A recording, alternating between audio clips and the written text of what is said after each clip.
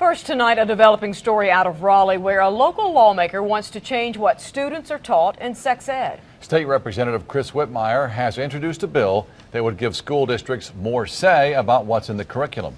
News 13's Hope Hanselman joins us now live in Asheville. Hope one change would ban teachers from talking to kids about emergency contraception. Yeah, that's right, Tammy. At schools across the state like TC Roberson, pills like Preven, the morning after pill, and Plan B would not be discussed in these classrooms if that bill were to pass. It's part of a values-based education that has some of the community divided.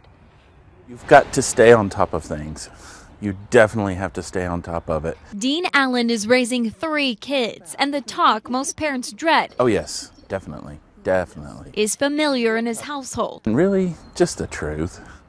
They ain't going to get it from their friends, they're going to get it from their parents. Which is why Dean believes House Bill 596 wouldn't hurt what North Carolina students are learning about sex. I think by the time they get to some education in school, they should already have known everything. The bill is aimed at allowing school districts to consider their own values when drawing up the curriculum, rather than being tied to the scientific findings of health experts. Yes, I'd vote for that. But Henderson County public health officials say parents already have a choice over what their kids learn in sex ed. I'm not sure why this is necessary if parents do have the option of of keeping their children out of anything that they might view as sensitive today. Executive Director Steve Smith says the county has been moving towards more comprehensive education. And the reality today with many populations we deal with is that they don't have that solid family structure. And that includes providing information about emergency contraceptives. Every day I would tell you that I actually get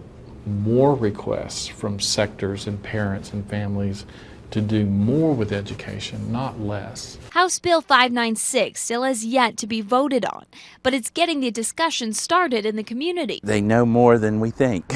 with the underlying notion that parents and guardians play an important role in what their kids are learning. The parents take the responsibility to teach.